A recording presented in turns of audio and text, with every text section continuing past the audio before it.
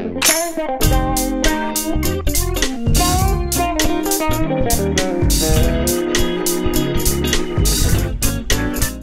there everybody, Andrew Swift here, and today we're going to take a look at this selectable frequency wireless in-ear monitoring system, the Galaxy Audio AS1100.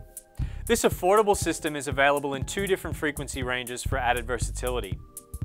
The included AS1100T is a selectable frequency transmitter that runs off a standard 12 volt DC adapter.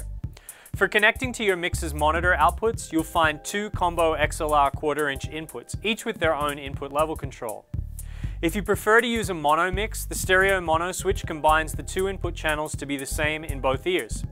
This is particularly useful for situations where you only have a single mono aux available on your mixer. The mono mode prevents you from hearing this mix in only one of your ears. On the front of the AS1100T transmitter is a backlit LCD strip that enables you to visually monitor the levels for both channels.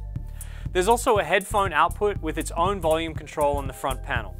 This is perfect for giving your sound engineer his own output or duos with a stationary musician such as a drummer or a keyboard player. The included Galaxy AS1100R receiver has its own backlit LCD screen. From here, you can monitor input levels, RF levels, and battery life. This lightweight pack runs on two AA batteries to provide about 5 hours of operation. By using the onboard controls, you can also select from multiple frequencies which are displayed on the LCD.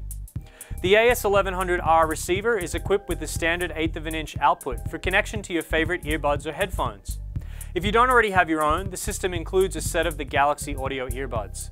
The Galaxy Audio AS1100 provides a host of useful features at an affordable price and offers a great way to get started with in-ear monitoring.